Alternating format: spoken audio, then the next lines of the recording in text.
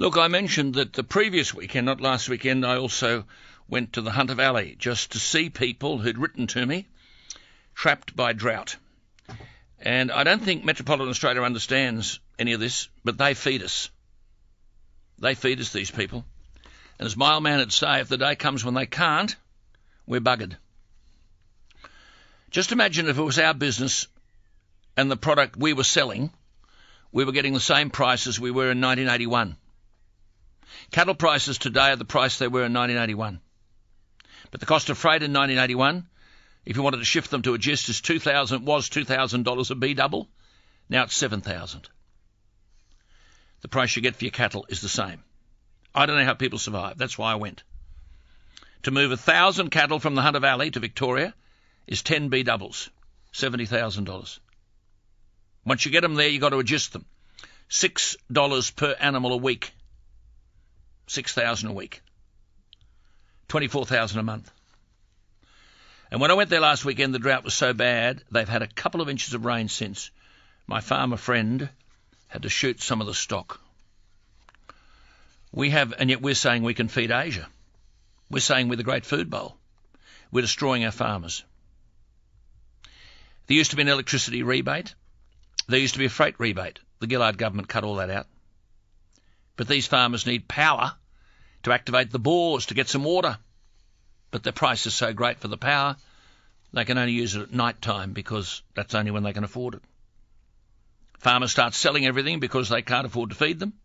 I went on the road with some of this stock last Saturday week. Just put a sign up says cattle ahead, and then you muster them on the road, grazing them on nothing. No protein, no nutrients, just dry grass gives the cattle a bellyful. What's to happen? Do we just say nothing? I was four hours from Sydney. I was two and a half hours from Newcastle. And no feed. This is drought. Big time. Queensland is worse. Queensland, I hope to get up there and see these people. But there are 1.35 billion people in China. We could feed them. But not if you bury the farmer. And not if you go play lip service to this mining invasion. So what is happening? It's unbelievable. We've got an animal welfare problem on our hands. If something isn't done by way of supporting these farmers, there'll be dead animals all over the country. And that silly woman, Julia Gillard, sucking up to the ABC, stopped live cattle ex- exports to Indonesia.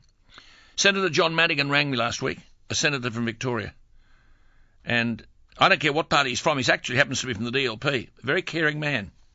He said in his maiden speech on the 25th of August 2011, Everywhere I go, I meet Australians who feel that they've lost their voice, and that no politician from either side of the fence could give a damn about their future or the future of their families and communities.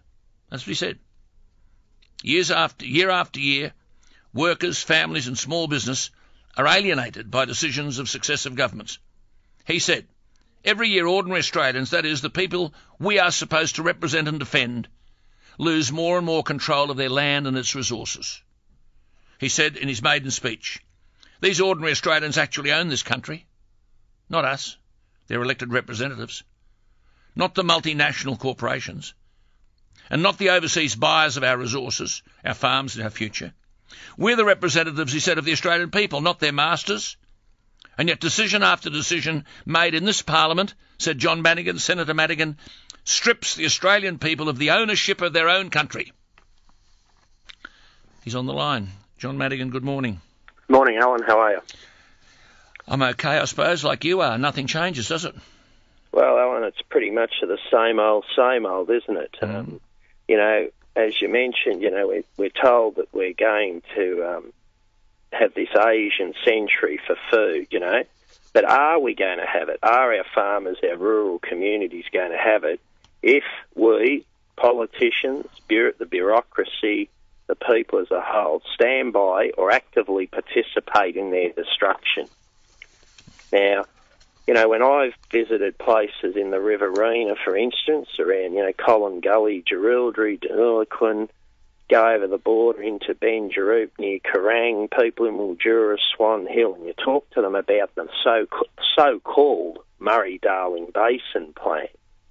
And the amount of anger and hurt and disillusion mm, mm that's throughout rural, regional and rural Australia, Mm-hmm. and even you know, and people in urban Australia in our cities who are Yep. just saying, "What the hell is going on?" They do say that.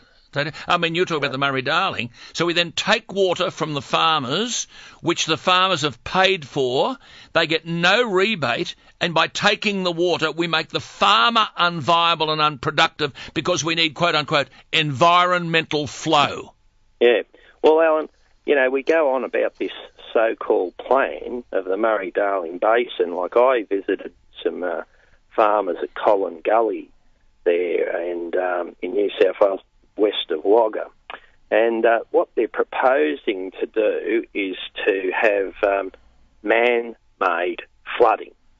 And as you and a lot of your listeners will know, you know, there's um, many chokes, you know, along our river systems, but two come to mind for me, like at Millala and Barmah. Um, we're going to have overland um, flooding. You know, um, if you read in the uh, former Murray-Darling Basin Commission data, um, they're saying that, um, for instance, that there's um, further losses, um, you know, as evaporation as a result of Yep. overbank loss That's right. um, you know, on shallow ground. Mm. Now, this is their, um, the Policy. Murray-Darling Basin Commission's own um, Yep. Data, but they seem to ignore it. You know, there was. But hey, just coming back, just coming back to this drought thing which you've talked about. I mean, Yeah. how do you pay bills when you've got no income? How do you pay bills when you're paying seventy thousand dollars to freight a thousand cattle to Victoria and paying six thousand dollars a week in agistment fees? So do we say, oh well, that's his worry. Forget about him. Don't worry about him. So what's the future? Where is the future? Where is this great agricultural industry which employs more people than the mining industry?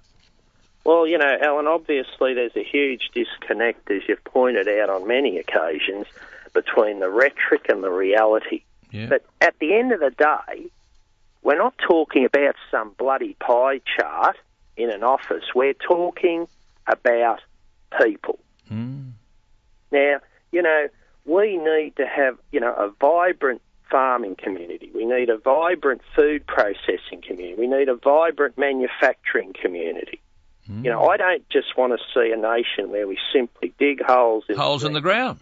turn our kids into a nation of drink waders and educate our competitors in how to bury us.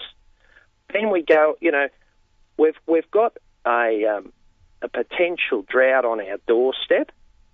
As you said, there are places in Australia now that are in drought. Some of us have been lucky and had a bit of rain, but you know, what are our governments, state and federal, doing to prepare for the next drought? Quite. Other than proposing Yep. to send valuable fresh water Yeah. down the river system That's correct. with, you know, with Uh, dubious outcomes. Dubious outcomes. And, and John, we don't harvest one cup of water when it falls. And so here we are now again. And then we sell Cubbie Station to the Chinese, which has got more water than Sydney Harbour. Uh, you hang in there. You keep going. I'll keep going. God only knows where we're going, but we'll keep going, John. So, uh, Alan, one thing I'd like Yep. to say is, look, today is the close of submissions um, for an inquiry we're having on Australia Post. Yeah, and, good. and the enormous um, contribution that you know the little LPO makes. In Well, I'll tell you what, look, I've just got to take a finance report. You hang on and go back there, and if need be, I'll talk to you tomorrow about that. That's very, very important, this Australia Post inquiry. Hang on there and, and just give us those details off air.